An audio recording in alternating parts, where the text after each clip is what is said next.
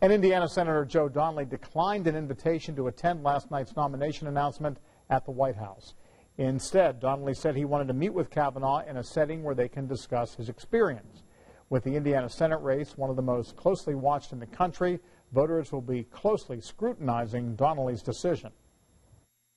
Obviously, he has the option to confirm or to deny that confirmation, but either one comes with a lot of baggage. If he chooses to vote in favor of Kavanaugh, that's risking alienating his base in terms of the Democratic Party. At the same time, if he votes against him, you know, he's a Democrat in a very Republican state. So there are a lot of costs either way.